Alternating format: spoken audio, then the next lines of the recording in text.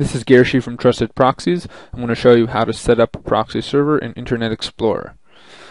So the first thing you're going to want to do is go to Settings, and within Settings, you'll want to go down to the Internet Options. You'll click that, and uh, the Internet Options tab open up. General tab will open up. You'll want to go to Connections, and then from Connections, you'll want to go down to the LAN settings, as you can see. Click on the LAN settings and you'll go to the proxy server section. You check mark that box there and this is where you put in the proxy server.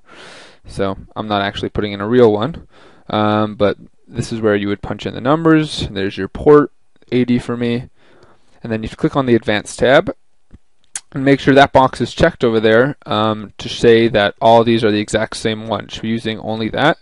Then you just press OK, OK again, OK again. And now your proxy's in the system. It's going to ask you now for a password.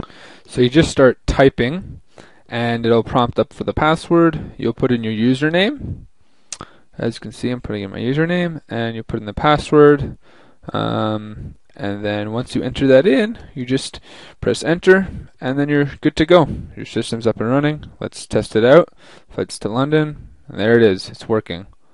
Alright, well, thank you for uh, watching this video, and I hope you now understand how to set up a proxy in Internet Explorer.